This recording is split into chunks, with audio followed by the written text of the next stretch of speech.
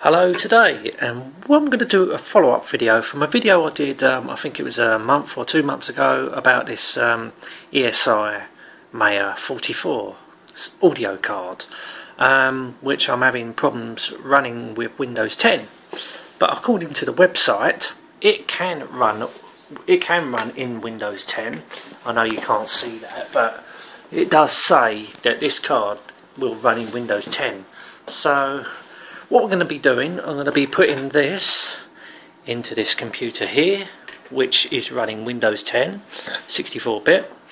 And what I'm going to do, I'm going to download the latest drivers for it and go through the process.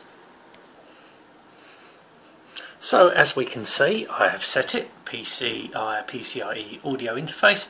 The model of the card is a Maya 44 and Windows 10 64-bit and this is the latest driver. Um, where is it? Windows 10 64-bit and there's the version 120 yep that's the buy and that's when it was released.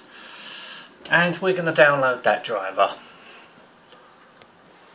Right so I've downloaded the file so when I open that I've got to open that file so there is the file. So the next step I'm going to be doing, I'll have to install the card into the computer.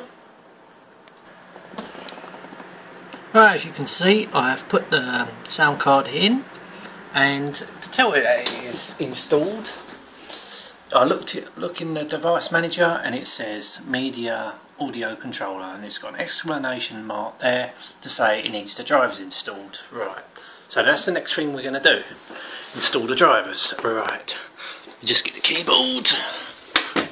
Um, sorry. Right, so we're about to install the driver. So what we do, we double click on that. So here we go. Then we go to, bear with me, this isn't easy holding the camera and doing it with one finger.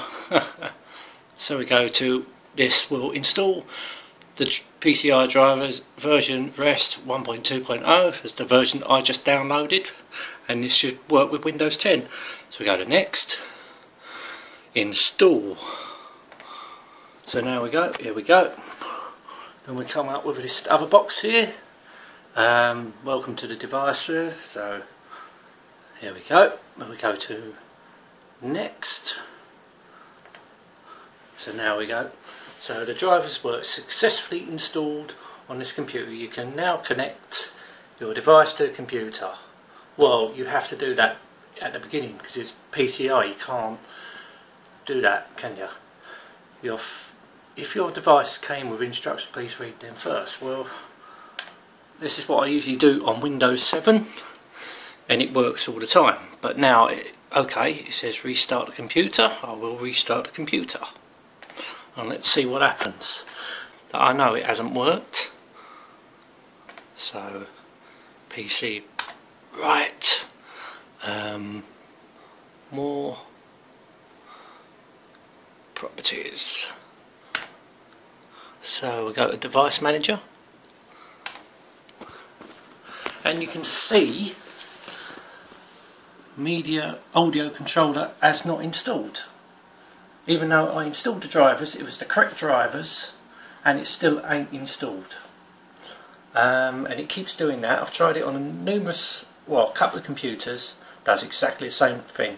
Even tried it on a 32-bit computer, does exactly the same thing when it runs Windows 10. So how the how do you run it in Windows 10 then? I've just tried it with the latest drivers, it does not work. Um, and you just saw it. So I do not know why this card don't work. Oh, what I'll do, I'll show you this additional. This, the drivers for this device are not installed, code 28. There are no compatible drivers for this device. To find a device, driver for this device, click update driver. Okay, I will click update driver and I guarantee you it will not work.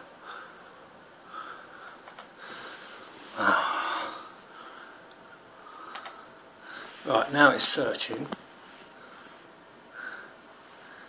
Yeah. Windows was unable to install your media audio controller. So that just proves that that does not work. So I don't know how to install it. Um, close that. But just to make sure.